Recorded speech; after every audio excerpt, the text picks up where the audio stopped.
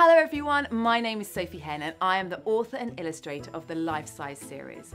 And I've got a challenge for you from Life Size Deadly Animals. Now this book is packed full of the world's deadliest creatures. And in this book they tend to fall into two categories. One, which is predators, and by that I mean animals that naturally catch and kill their prey. And the other category is venomous creatures, and I'm, those are poisonous creatures. But the creature I'm going to talk about definitely falls into the predator category. In fact, it's the world's largest predatory fish. It is, of course, the great white shark. And here we have some life-size great white shark's nostrils. But why would a shark need nostrils when it breathes through its gills? Well, we use our nostrils for two reasons. One for breathing, which is of course very important, but the other for smelling. And that's what a great white shark uses its nostrils for. In fact, these are super nostrils because it can smell a colony of seals up to two miles away. But for this challenge, we're going to focus on another feature of this incredible creature. We are going to focus on the great white shark's great big mouth.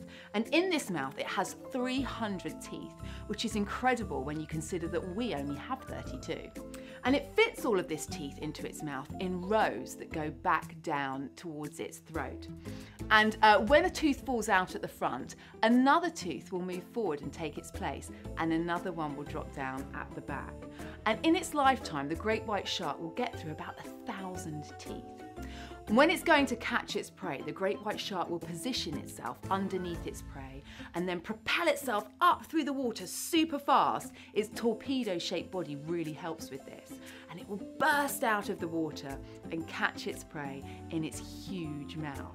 But just how huge is a great white shark's mouth? Well, it's about four life-size books wide and four life-size books tall. So my challenge to you is to measure out a great white shark's mouth. You could even add some teeth. They're about 28 at the top and about 23 at the bottom. And they range from between one and a half centimetres to 17 centimetres. So once you've measured it out and added all of its teeth, see how many of you can stand inside a great white shark's mouth. Come on, snap to it.